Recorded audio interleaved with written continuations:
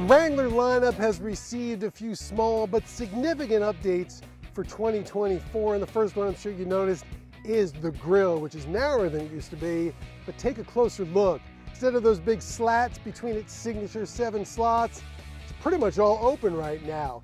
That improves cooling for its 470 horsepower, 392 cubic inch V8. And if you need to pull something that's in front of it, the new grill opened up room for a factory installed Warn winch that's been crash tested with the truck and can lug up to 8,000 pounds. In fact, Jeep also added side curtain airbags for the first time, which is another feature that you can get on the Bronco.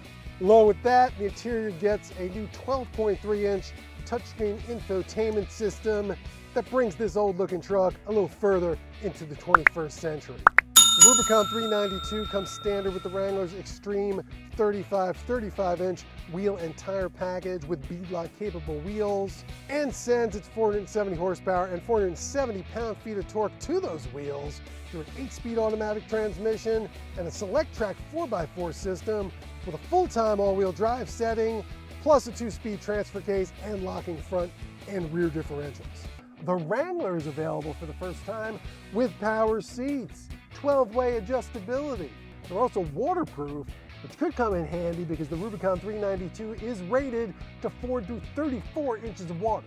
And if you are driving through deep water and create a bow wave, this also has Jeep's Hydro-Guide air intake system